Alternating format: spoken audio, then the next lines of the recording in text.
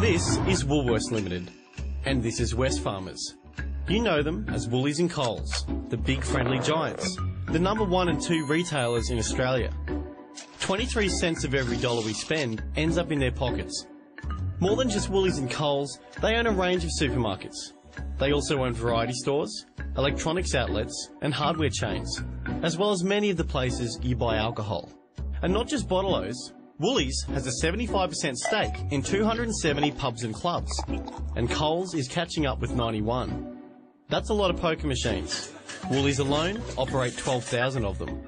The giants also sell fuel through deals with Caltex and Shell, and Wesfarmers owns coal mines in three states. But their core business is still groceries. Together, they share more than 70% of the Australian market. The UK's two biggest chains share 48%. The US equivalents are mere 20. The giants flex their competitive muscles in a number of ways. They gradually buy out smaller rivals in a process called creeping acquisitions. They also buy land their competitors might be interested in and leave it vacant, a tactic known as greenfield acquisitions. In 2008, an ACCC inquiry found evidence of more than 700 restrictive covenants.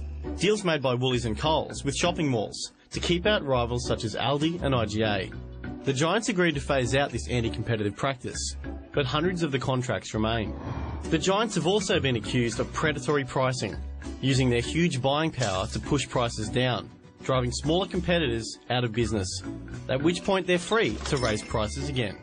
And they don't just squeeze their rivals, they squeeze their suppliers too. The National Farmers Federation claims farmers are getting as little as 5% of what you pay at the checkout. Finance commentator Robert Gottliebsen describes this as one of the greatest scandals ever seen in this country. Despite a recent ACCC inquiry into pricing competition backing the giants, farmers groups are now calling for a royal commission.